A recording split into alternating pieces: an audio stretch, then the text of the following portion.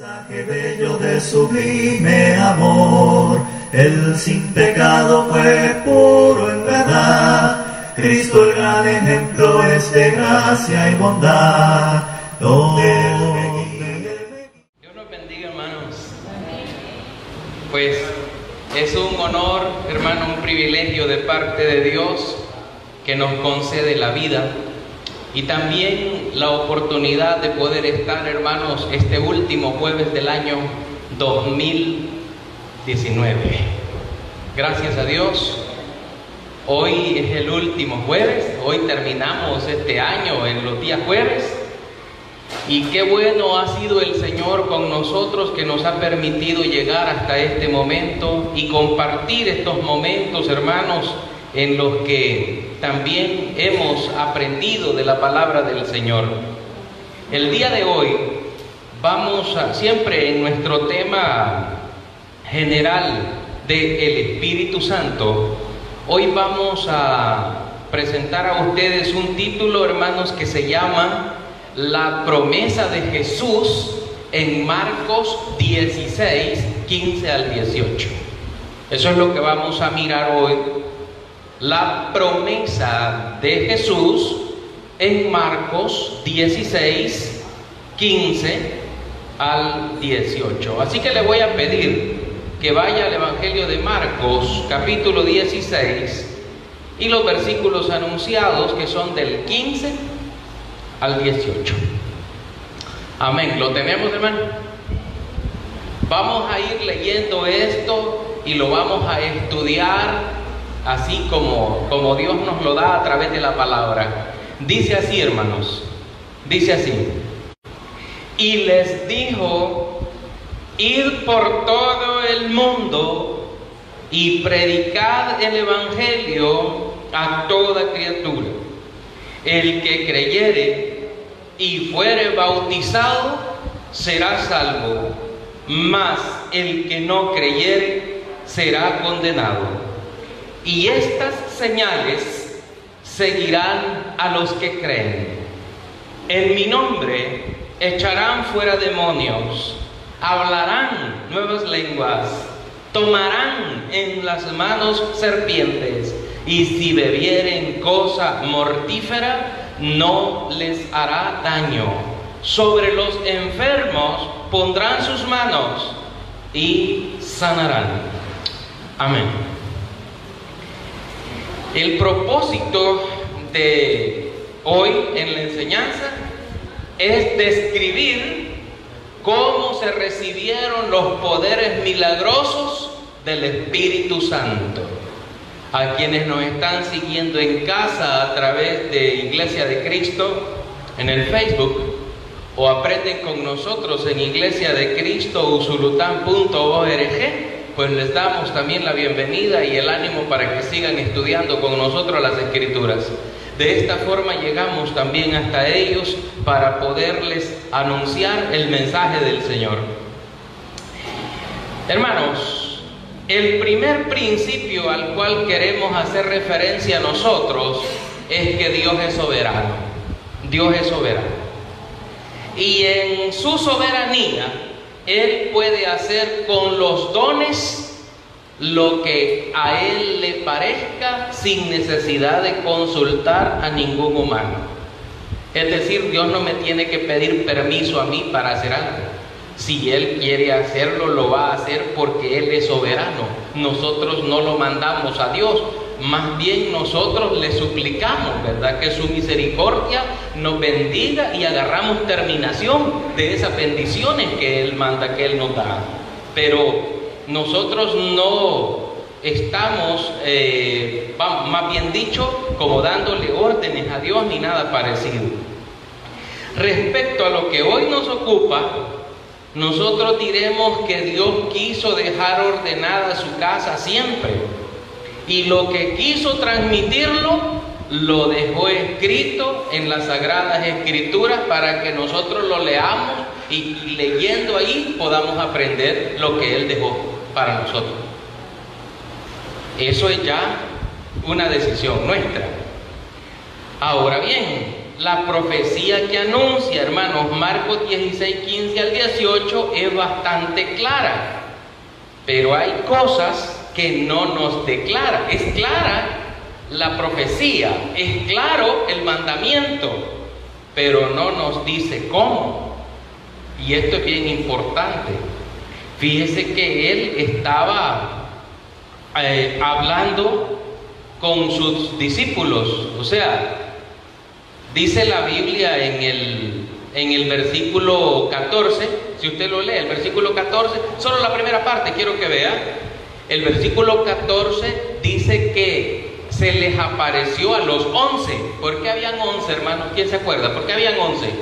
¿Por qué ya no 12? Habían 11 ya. Ah, había uno, ¿verdad? Que ese ya, ya no estaba. Dice que se apareció a los 11 y estando sentado a la mesa les reprochó a algunos su incredulidad y algunas otras cosas. Pero luego le da esta gran misión. Mire cómo dice. Le dijo a los apóstoles, id por todo el mundo y predicad el Evangelio a toda criatura. Yo le voy a preguntar a usted ahora, ¿cree usted que los discípulos iban a ir por todo el mundo? O sea que ellos iban a irse unos para Arabia, otros para España, otros se iban a ir para, para Asia, para Japón, otros iban a viajar el mar hasta llegar a América. Jesús les dijo que hicieran pero no les dijo cómo lo hicieran. ¿Ya? Si a usted le dicen, hermano, hermano Fito, le dicen, vaya a Usulután a traer una bolsa ah, de azúcar, digamos, hermano, lo mandan a traer. Y usted dice, miren, pero no hay bus, dice, bueno, no importa, me voy a ir a pie. Pero si alguien me presta un caballo, me voy a caballo. El punto, no, el punto es que usted va a ir, no importa cómo. Amén. No importa el cómo. Puede ser que vaya en burro, en caballo, en tren, ya, tal vez próximo, o va a ir en, en vehículo, o va a ir en lo que sea. El Señor dijo, ir por todo el mundo y predicar el Evangelio. Hay mucha gente que hoy día, gracias a Dios, va y va de casa en casa, tocando la puerta a las personas y llegan para evangelizarle y hablarle de la palabra del Señor. Damos honra y gloria al Señor por eso. Pero otros no van de puerta en puerta. Otros van y organizan conferencias. Invitan a la gente y le dicen, vengan, vamos a tener una conferencia, vamos a tener una enseñanza. Otros no van así, Vamos a través del canal de televisión. Amén. Vamos por la televisión y llegamos hasta la intimidad de los hogares en la gente para que la gente oiga del Señor y oiga la doctrina y oiga la palabra. Y llegamos hasta allá.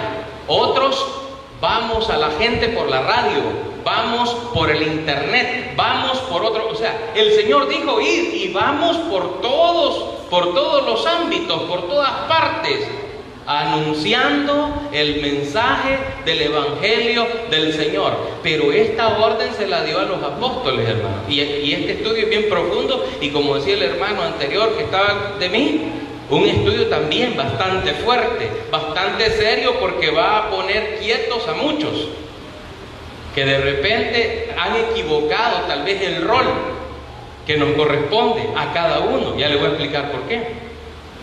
Fíjense, fíjense en esto, miren. Fíjense que el cumplimiento de esta promesa de ir por todo el mundo se da tiempo más tarde, cuando la iglesia comienza a ser perseguida, cuando la iglesia está naciendo y el Señor está apoyando poderosamente el mensaje que está llegando a las multitudes de personas. Y aquí quiero ir a Hechos capítulo 6. Quiero que vaya conmigo. Hechos de los Apóstoles, capítulo 6. Quiero que vaya conmigo. Este es un, parte de. Yo estoy predicando ahora en el Nuevo Testamento y creo que no vamos a tocar el Antiguo, solo nos vamos a quedar en el Nuevo Testamento.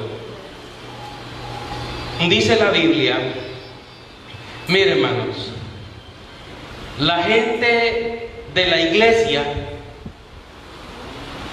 la gente de la iglesia, no todos siempre van a estar contentos. Siempre va a estar gente descontenta y van a estar tal vez unos criticando a otros, van a estar diciendo uno, yo hago una cosa que él no hace nada, yo aquí, yo allá, y van a comenzar así, en esa condición. Es algo parecido a lo que estaba ocurriendo acá.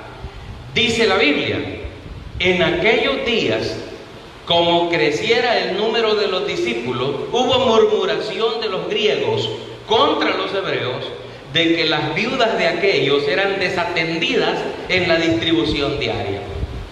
Entonces los doce convocaron a la multitud de los discípulos y dijeron, no es justo que nosotros dejemos la palabra de Dios para servir a las mesas.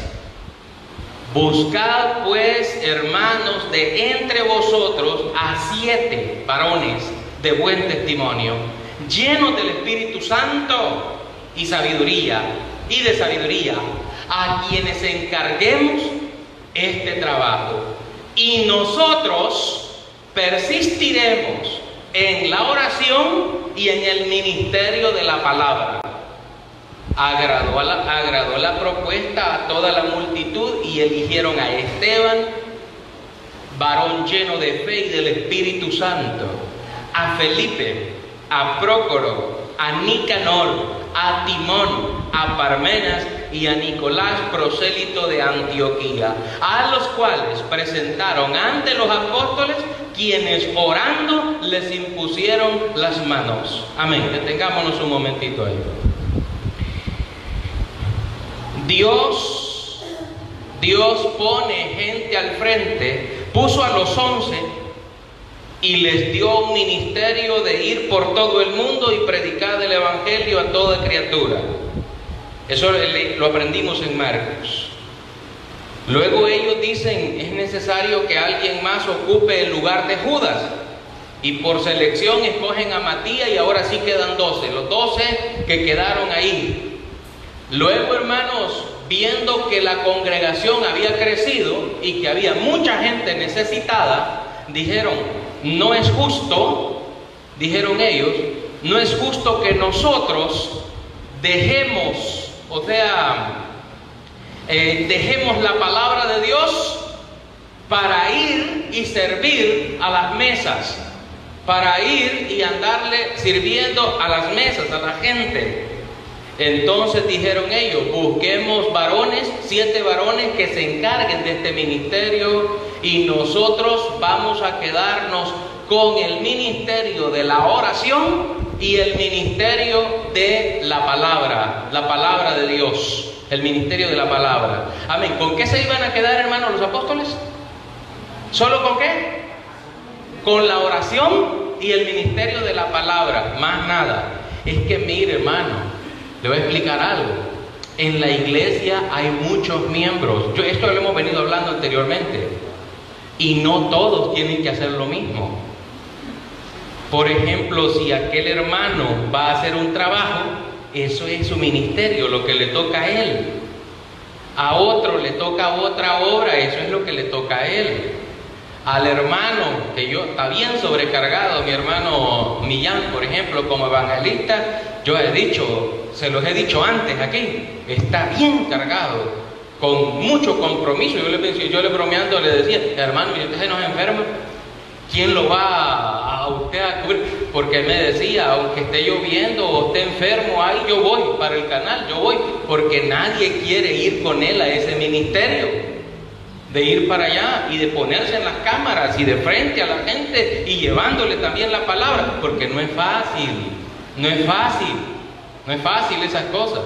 Ponerse delante de una cámara o manejar en internet, dar una transmisión en vivo como la que estamos haciendo ahorita, llevándole a las personas que nos ven hasta en Estados Unidos. Dios bendiga a la linda Moreira que siempre está con nosotros, hija de nuestra hermana Argelia. Ella y toda su familia están pendientes todo el tiempo de estas predicaciones.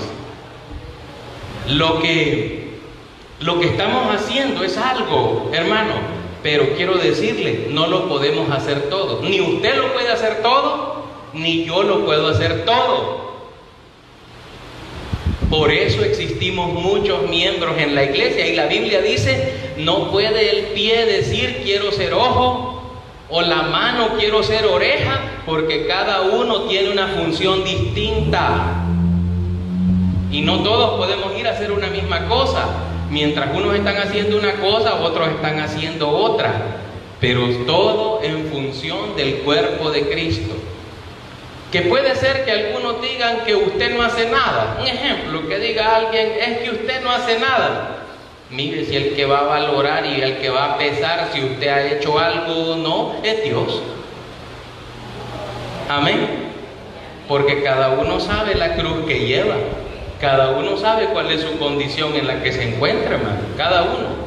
Ahora bien, el cumplimiento de esta, de esta promesa de Marcos 16, 15 al 18 se da en Hechos capítulos, capítulo 8, versículos 5 al 22. Quiero que vea el capítulo 8 de los versículos 5 al 22. Amén. Vamos a, a ir leyendo en el versículo 5 dice, entonces Felipe, descendiendo a la ciudad de Samaria, les predicaba a Cristo. Amén. ¿Quién era Felipe? A ver quién se acuerda. Ah, era uno de los que habían elegido, ¿se acuerda? Era uno de los diáconos que habían elegido. Esteban era uno, pero resultó que a Esteban lo mataron, lo apedrearon ahí mismo porque les enrostró y les dijo muchas cosas. Y ahora Felipe, dice la Biblia, descendiendo a la ciudad de Samaria, les predicaba. Ah, o sea que Felipe fue a predicarle a los samaritanos. A ver, ¿quién se acuerdan de la mujer samaritana que habló con Cristo en el pozo de, en el pozo de Sicar? ¿Se acuerdan? ¿Cómo le dijo tú siendo judío me pides a mí de beber? Y dice la Biblia, porque los judíos y los samaritanos no se llevaban, o sea, no se llevan, no hay comunicación. Sin embargo, Felipe se metió hasta los samaritanos y comenzó a predicarles el mensaje, comenzó a predicar la palabra. Y la gente, ¿está conmigo leyendo? Versículo 6. Y la gente unánime escuchaba atentamente las cosas que decía Felipe oyendo y viendo las señales que hacían. Porque de muchos que tenían espíritus inmundos salían estos dando grandes voces y muchos paralíticos y cojos eran sanados. Así que había gran gozo en aquella ciudad. Pero había un hombre llamado Simón que antes ejercía la magia en aquella ciudad y había engañado a la gente de Samaria, haciéndose pasar por algún grande. A este oían atentamente todos, desde el más pequeño hasta el más grande, diciendo, este es el gran poder de Dios. Y le estaban atentos porque con sus artes mágicas les había engañado mucho tiempo. Pero cuando creyeron a Felipe, que anunciaba el Evangelio del reino de Dios y el nombre de Jesucristo, se bautizaban hombres y mujeres. Amén. También creyó Simón mismo y habiéndose bautizado, estaba siempre con Felipe y viendo las señales y grandes milagros que se hacían, estaba atónito. Cuando los apóstoles que estaban en Jerusalén oyeron que Samaria había recibido la palabra de Dios, enviaron allá a Pedro y a Juan, los cuales, habiendo venido, oraron por, por ellos para que recibiesen el Espíritu Santo, porque aún no había descendido sobre ninguno de ellos, sino que solamente habían sido bautizados en el nombre de Jesús. Entonces les imponían las manos y recibían el Espíritu Santo. Cuando vio Simón que por la imposición de las manos de los apóstoles se daba el Espíritu Santo, les ofreció dinero, diciendo, Dadme también a mí este poder para que cualquiera que yo impusiera las manos reciba el Espíritu Santo. Entonces Pedro le dijo, tu dinero perezca contigo, porque has pensado que el don de Dios se obtiene con dinero. No tienes tu parte ni suerte en este asunto, porque tu corazón no es recto delante de Dios. Arrepiéntete pues de esta tu maldad y ruega a Dios si quizás te sea perdonado el pensamiento de tu corazón. Amén. Aquí encontramos varias cosas. Primero, hermano, hay un hombre llamado Felipe, haciendo exactamente lo que Cristo les mandó. ¿Qué fue lo que mandó? Ir y predicar el Evangelio. Aquí estaba Felipe predicando el Evangelio a esa gente. Amén. ¿Estaba predicando Felipe? Estaba dando cumplimiento a esta promesa. Ahora hay algo más que ocurre aquí. Y es, hermanos, que el resultado fue el que Cristo ya anticipó. El resultado. Vaya, por ejemplo, Jesús dijo, vayan por el mundo, predíquenle el Evangelio a toda criatura. ¿Y qué iba a pasar cuando se les predicara? ¿Alguno? ¿Qué iba a pasar? Jesús dijo, el que creyere y fuere bautizado será salvo. Amén, ¿se acuerdan? Entonces dice aquí, en esta parte, que creyeron y fueron bautizados. Los que oyeron a Felipe, cuando oyeron que Felipe predicaba el Evangelio en el nombre de Cristo, se bautizaban hombres y mujeres. Amén. Eh, vamos siguiendo esto, hermano, el cumplimiento de, este, de, esta, promesa, de este mandamiento, de esa profecía. Y ahora, hermanos, número 3, dice, luego que Cristo anunciara, dijo Jesús estas palabras, y estas señales seguirán a los que creen. Y comienza a hablar el Señor y dice, estas señales seguirán a los que creen. Y comienza a hablar de algunos milagros hablarán nuevas lenguas. ¿Qué más dijo, hermano? Beberán cosas mortíferas, no les va a hacer daño, tomarán en sus manos serpientes, sanarán, pondrán las manos sobre los enfermos y sanarán, y todo eso. Pero hay una cosa, hermanos, que yo quiero que, y si podemos concentrarnos aquí, porque los veo a veces que platican entre ustedes y así nos, nos quitamos la comunicación. Miren, aquí resulta que la gente oyó la palabra, creyó y se bautizó. Pero después que se bautizaron, ellos no recibieron eh, el, don de hablar en lenguas, el poder de sanar enfermos, el, ningún poder recibieron. La gente que, que se bautizó no recibieron ningún poder.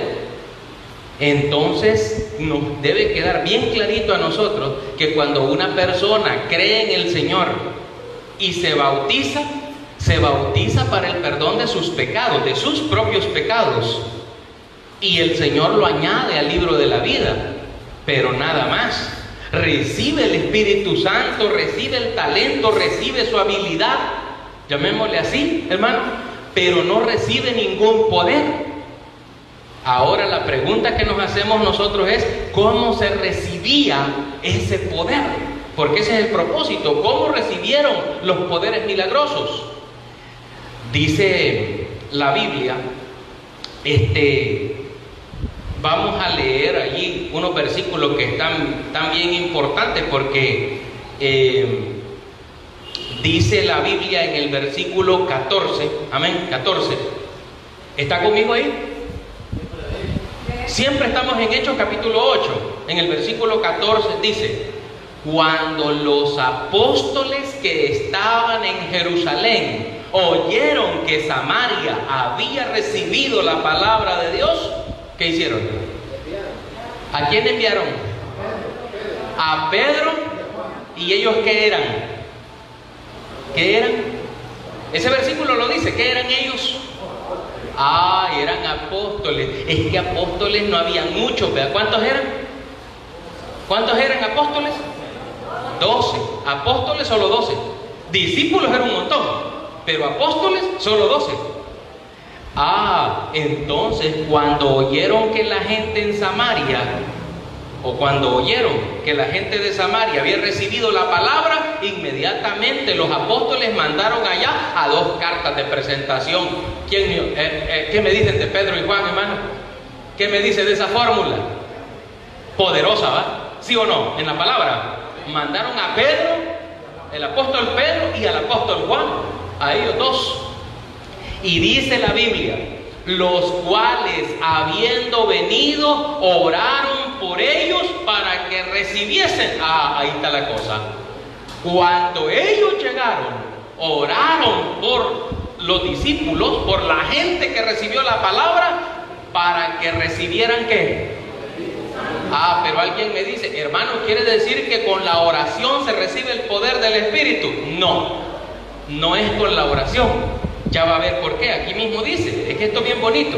Dice en el versículo 16, porque aún no había descendido sobre ninguno de ellos, sino que solamente habían sido bautizados en el nombre de Jesús.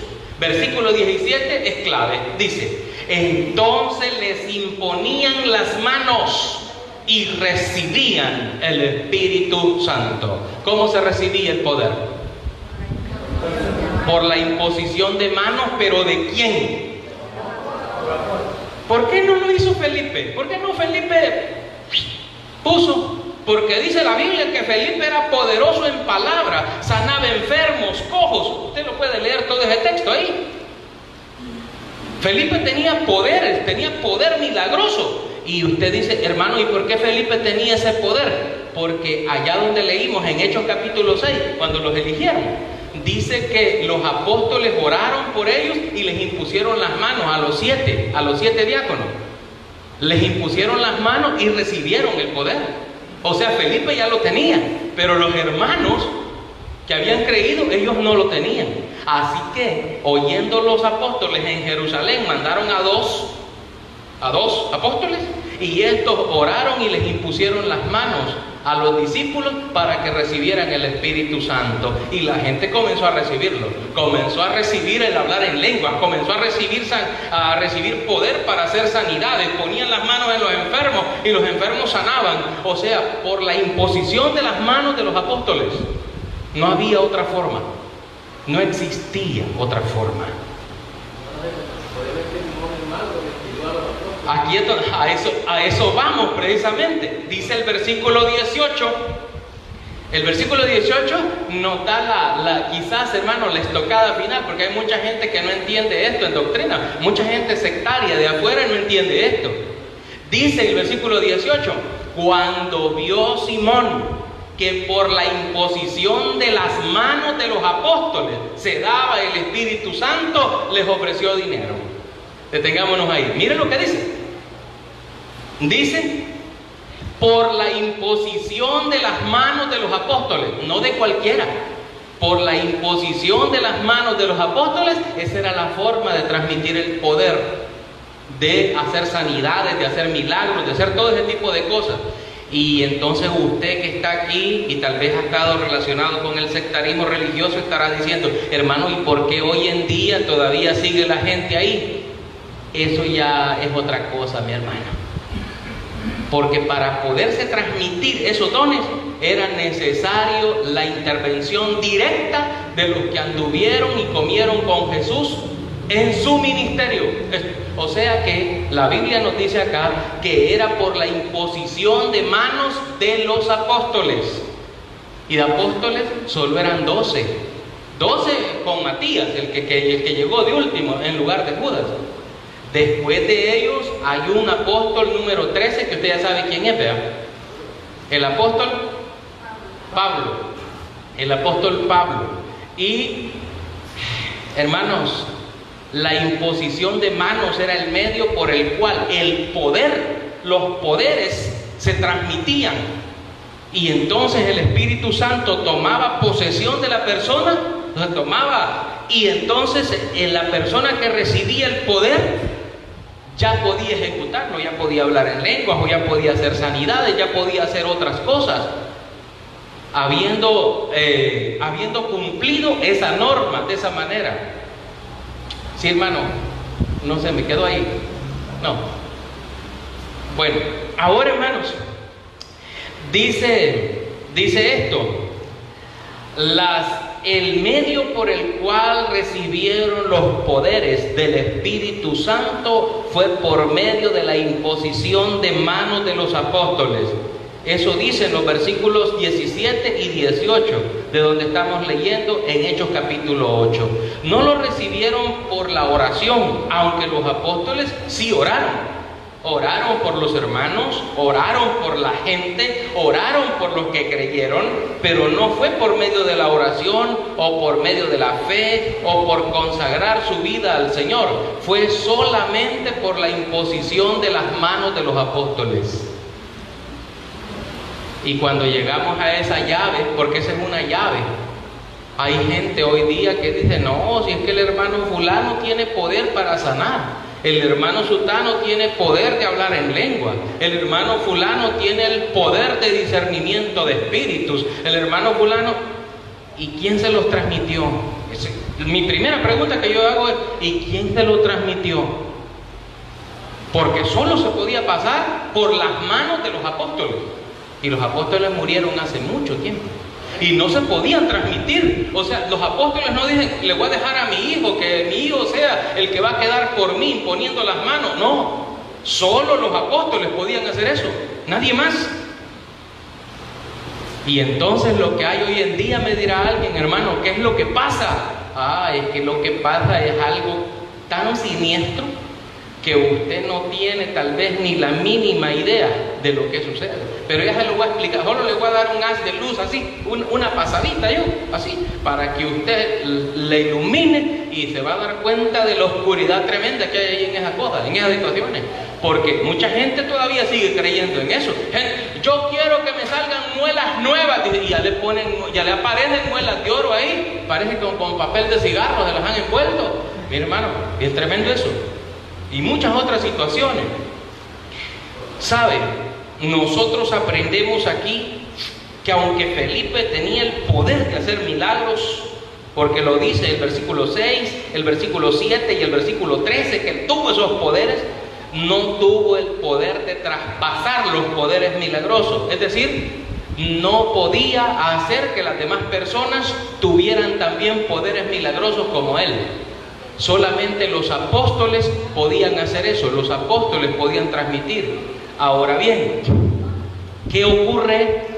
¿Qué ocurre? Ah, que fue necesario enviar a dos apóstoles, Pedro y Juan, desde Jerusalén hasta Samaria, para imponer las manos a los nuevos creyentes.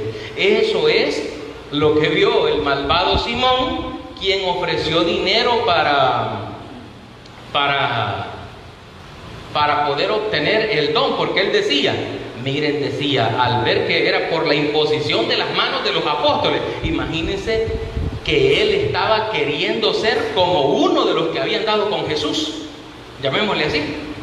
Y les dijo, véndanme, véndanme el derecho, así como dice la gente hoy cuando tienen casa, va a ir la gente, véndanme el derecho, dice, eh, entonces lo que estaba diciendo, véndanme el derecho de ser apóstol y cuando yo impusiera las manos a alguien, que ese alguien reciba el poder, reciba el Espíritu Santo. Y le dijeron, no, tu dinero perezca contigo porque has creído que esto se compra con dinero y no era con dinero la cosa. Amén. Hermano, está bien serio esto. Ahora bien, fíjese que hay algo que llama la atención, que llama la atención poderosamente y es que fíjese que dice la Biblia que hay unos que los demonios cuando salen de las personas, y por eso le dije que esto es tenebroso, por eso no me quiero meter hasta ahí yo porque es un poco tenebroso y profundo esto.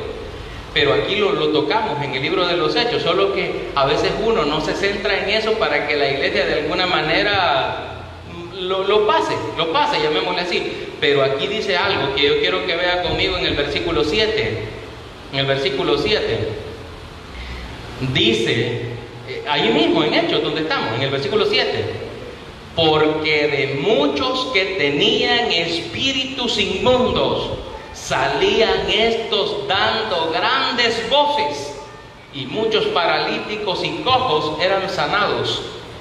Esa expresión, grandes voces, en algunas Biblias o en algunas expresiones aparece como alaridos. Son como alaridos o como grandes gritos. los demonios salían como dando, ya ha oído un grito de pavor usted, un, grito horrible, así. Incluso en algunas canciones que, algunas dicen que son alabanzas o cuestiones así, aparecen eso de grandes alaridos o grandes gritos. Es porque hay presencia de esas cosas. Yo no me voy a entrar mucho en eso. Hay mucha gente que hoy día me ha preguntado a mí, y entonces hermano, y, en esas iglesias donde hacen milagros y donde la gente va y hasta la tocan así y ya la gente cae hasta entendaladas ahí. Mire hermano, yo solo le voy a decir, hermano, pero es que esa, esa gente es de Dios, porque esa gente habla palabra de Dios, esa gente habla de Jesús, esa gente, mire, dos cosas le voy a decir. No todo el que habla del Señor es hijo del Señor. Así. Es el número uno. Y número dos, cuando me dicen a mí, y entonces el poder, ¿ese poder de dónde viene? La respuesta mía es, ese poder viene de Dios. Ah, no es del diablo, no, de Dios viene. Viene de Dios, del Señor viene, pero no sabe cuál es el propósito. Eso es lo peligroso. ¿Quieres saberlo? ¿Quieres leerlo, mejor dicho? ¿Quieres leerlo conmigo? ¿Cuál es el propósito? En el libro de Tesalonicenses, amén. Tesalonicenses, vamos a ir a Tesalonicenses. En el Nuevo Testamento se encuentra la carta de Tesalonicenses. Les voy a pedir que vayan al, al, al capítulo 2 de la segunda carta de Tesalonicenses. Amén.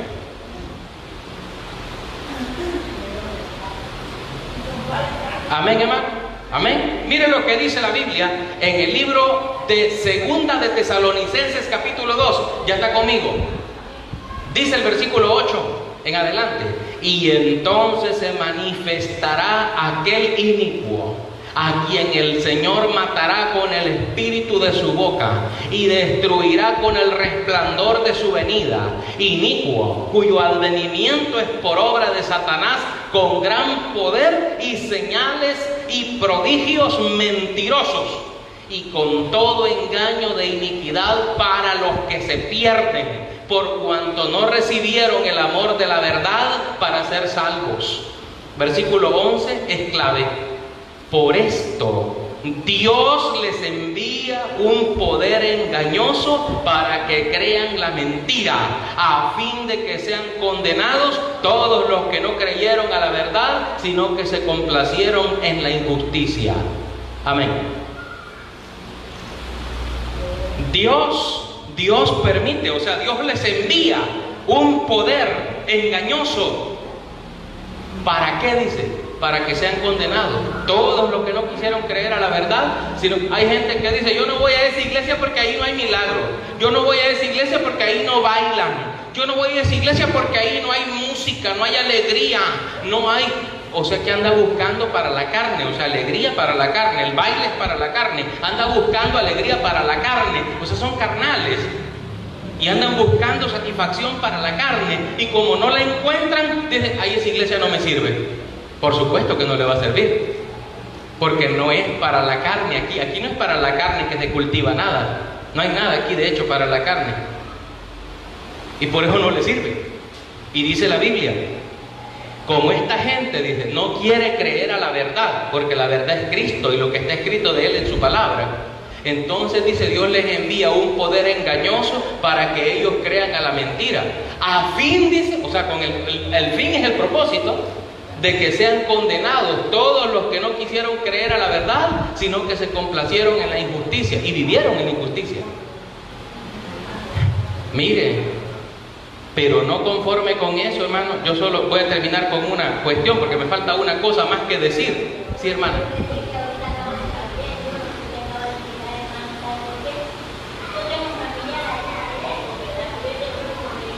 Amén.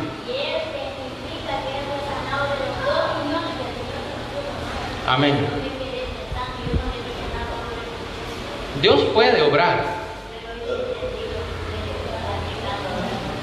Pero como le dijera el Señor, hermana, al hombre paralítico que llevaron, aquel hombre paralítico que era llevado por cuatro y al no poder entrar hasta donde Jesús estaba, lo llevaron al techo, abrieron el techo y lo bajaron. El Señor cuando lo vio le le dijo, hijo, tus pecados te son perdonados. Y el hombre quedó limpio de sus pecados, pero quedó paralítico. Él no sanó de la parálisis. Entonces la gente que estaba ahí comenzó a decir, ¿quién es este? ¿Qué se cree? Si el único que puede perdonar pecados es Dios, ¿y este por qué se hace Dios? Y entonces mira un momento le dijo, ¿qué es más fácil? ¿Decirle a este hombre, tus pecados te son perdonados? ¿O decirle que se levante y que ande? Pues para que sepan que el Hijo del Hombre tiene potestad en la tierra para perdonar pecados, hijo, tus pecados te son perdonados. Levántate, toma tu camilla y vete a tu casa. Ahí lo sanó. Pero la misión de Cristo no es que la persona tenga riñones nuevos, pies nuevos, corazón nuevo, qué sé yo. No, es que los pecados sean perdonados. Esa es la importancia que da el Señor en su palabra. Pero hay mucha gente que busca, busca la profecía, busca los dones, busca estas cosas.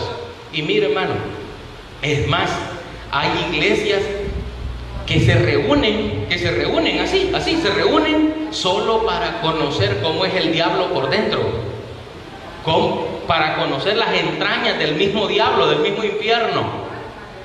Para eso se reúnen, para conocer cómo son los espíritus, qué hacen los espíritus, cuándo es que los espíritus pueden ser exorcizados, por qué los espíritus protegen tanto su nombre, para no ser exterminados o para no ser enviados al abismo, o sea, todas esas cosas, ellos las estudian, pero viene que son iglesias y llamadas iglesias de Cristo.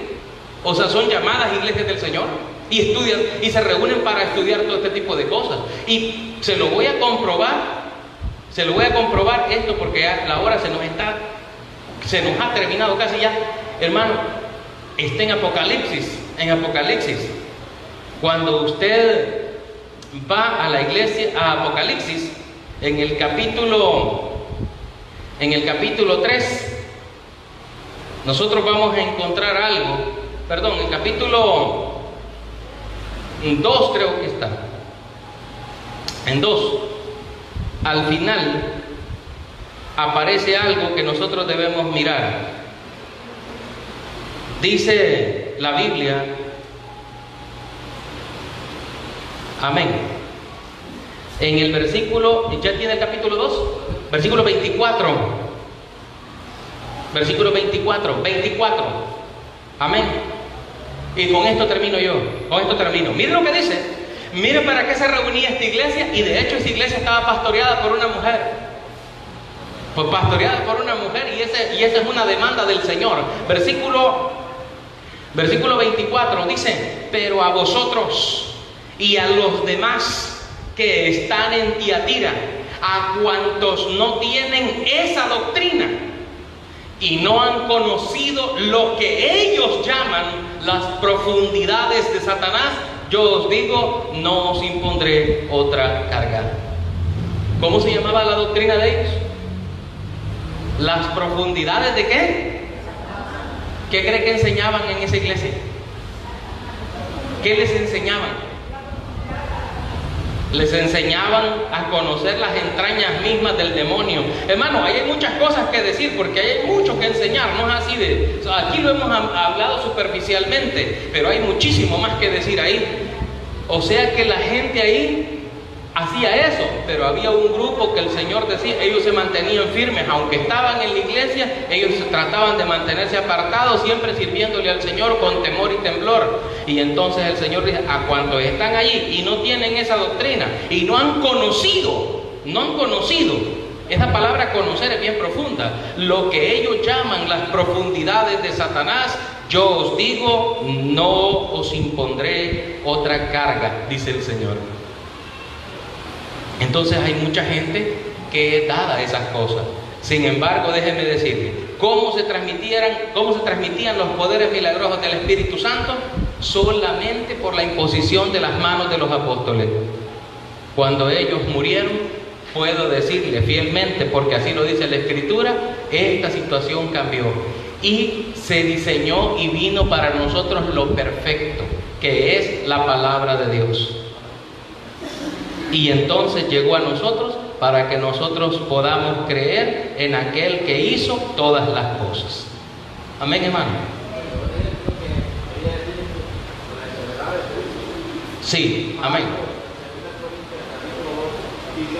Amén. El apóstol Pablo hablaba, de eso. El Señor le dijo a Pablo, bástate mi gracia, porque mi poder se perfecciona. No le dijo en curar enfermos, hacer esto, lo otro. No, el Señor le dijo, mi poder se perfecciona en la debilidad. Mucha gente no entiende esto, pero está en la Biblia, aquí está en la Escritura. Mucha gente daba esta cosa. Así que si usted pues quiere aprender bastante, hermano, esto está quedando aquí para ustedes, para que ustedes lo puedan consultar después, para que usted en su casa lo pueda poner en la televisión, lo pueda poner en la radio y así de esa forma pueda usted, este, amén.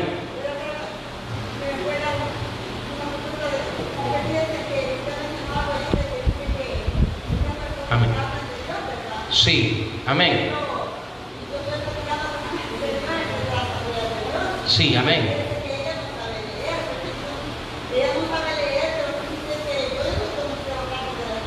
Sí, amén.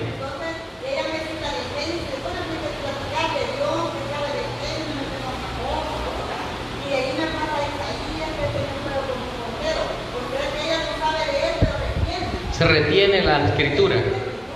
Amén. Amén. Esos son los dones. Eh, esos son los dones del Espíritu. Cuando Dios da, a algunos les da espíritu de sabiduría. Eso dice la Escritura también. Bueno, hermanos, yo voy a quedarme hasta acá. Tu nombre levantaré. Me deleito en adorarte.